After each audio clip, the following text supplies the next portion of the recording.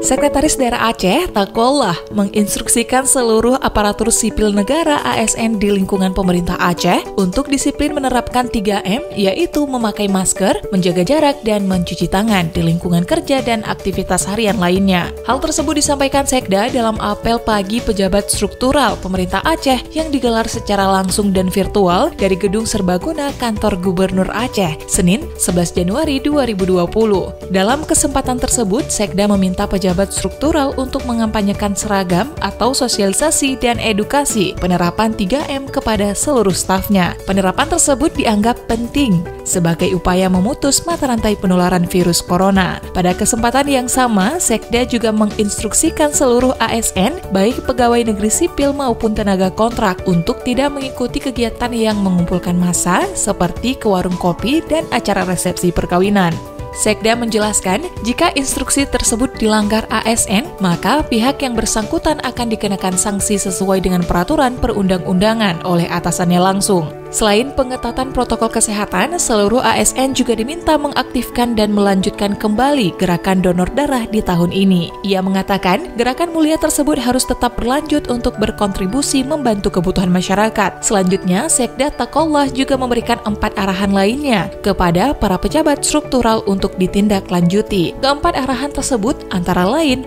LHKPN, evaluasi tenaga kontrak, evaluasi buku kinerja pejabat struktural, dan SKP tahun 2020.